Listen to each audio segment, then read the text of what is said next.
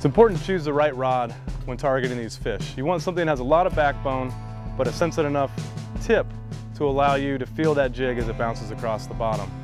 Matt Sewell of Sewell Custom Rods, based here out of Fort Myers, does an excellent job of making rods just for this purpose.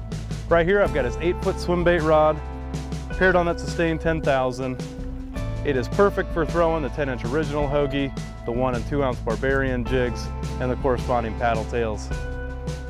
I like to spool that reel up with 50 pound Power Pro braid. I'm using the slick and the aqua blue.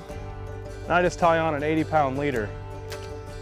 The knots that you use for these fish are just as important as the bait, time, and tide, because without proper knots, you're gonna have a hard time landing these fish. In my braided line, I tie a spider hitch that doubles my braid, and to that I'll tie a worm knot.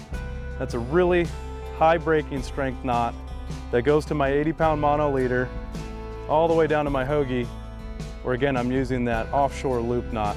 I leave a long tag on tag end on there just to prevent any slippage. And of course, I've got our Barbarian jig and the paddle tail here. It's really just that simple. It's really about finding the right time of the tide and uh, spending the time out here to, to get on those fish.